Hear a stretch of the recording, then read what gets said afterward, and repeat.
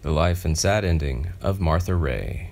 Martha Raye was born August 27, 1916, at St. James Hospital in Butte, Montana, as Margy Reed. Her father, Peter F. Reed Jr., was an Irish immigrant. Her mother, Maybelle Hazel Reed, was raised in Milwaukee in Montana. Her parents were performing in a local vaudeville theater as Reed and Hooper when their daughter was born. Two days later, her mother was performing again. Martha first appeared in their act when she was three years old. She later performed with her brother Bud, and the children became so popular that their parents' act was renamed Margie and Bud. In the early 1930s, Raye was a band vocalist with the Paul Ash and Boris Morros orchestras. She made her first film appearance in 1934 in a band short titled A Night in the Nightclub. In 1936, she was signed for comic roles by Paramount Pictures and made her first picture for Paramount. Her first feature film was Rhythm on the Range with crooner Bing Crosby. From 1936 to 39, she was a featured cast member in 39 episodes of Al Jolson's weekly CBS radio show, the Lifebuoy program, also called Cafe Trocadero. In addition to comedy, Martha sang both solos and duets with Jolson.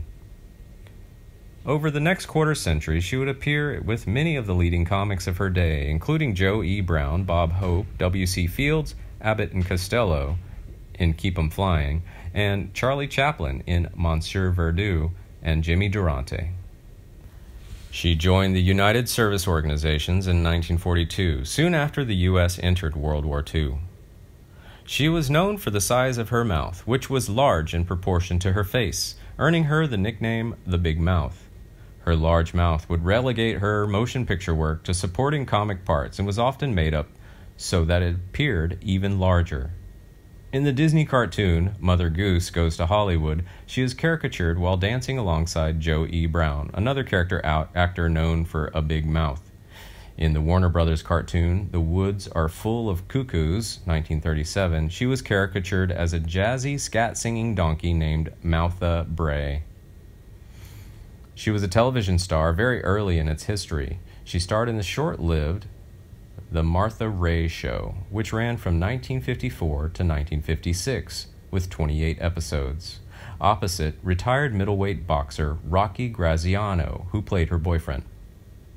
Some of the guest stars on the show were Zsa Zsa Gabor, Cesar Romero, and Broadway dancer Wayne Lamb. She also appeared on other TV shows in the late 50s, such as What's My Line?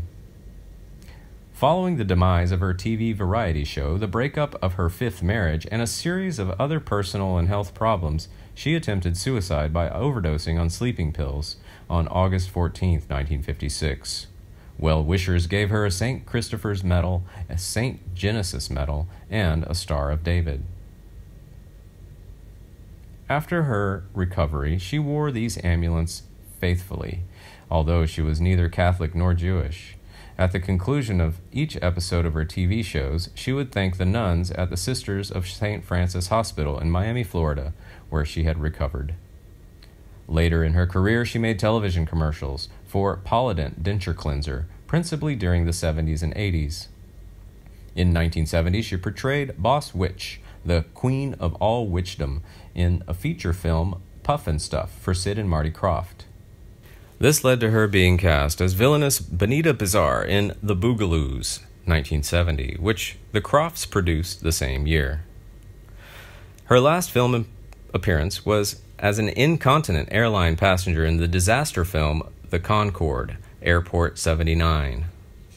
In her personal life, Raye's per- personal life was complex and emotionally tumultuous. She was married seven times. Her engagement to orchestra leader Johnny Torrance was announced in June 1936. Less than two months later, they divorced. She was married to makeup artist Hamilton Buddy Westmore from May 30th, 1937 until September of that year, filing for divorce on the basis of extreme cruelty. With composer conductor David Rose from October 8, 1938 to May 19, 1941. With Neil Lang from May 25th 1941 until February 3, 1944. With Nick Condos from February 22, 1944 to June 17, 1953. To Edward T. Begley from April 21, 1954. October 6, 1956. To Robert O'Shea from November 7, 1956 to December 1, 1960. The last person, Mark Harris, from September 25, 1991 until her death. She had one child, a daughter, named Melody Condos, born 1944, with her fourth husband, Condos. Raye's final years were plagued by ill health. She had a history of cardiovascular disease and suffered from Alzheimer's disease, in addition to losing both legs in 1993 due to poor circulation. Sadly, Ray died at age 78 of pneumonia on October 19, 1994. She was buried with full military honors in Fort Bragg, North Carolina. Raye has two stars on the Hollywood Walk of Fame, one for motion pictures at 6251 Hollywood Boulevard and the other for television at 6547 Hollywood Boulevard.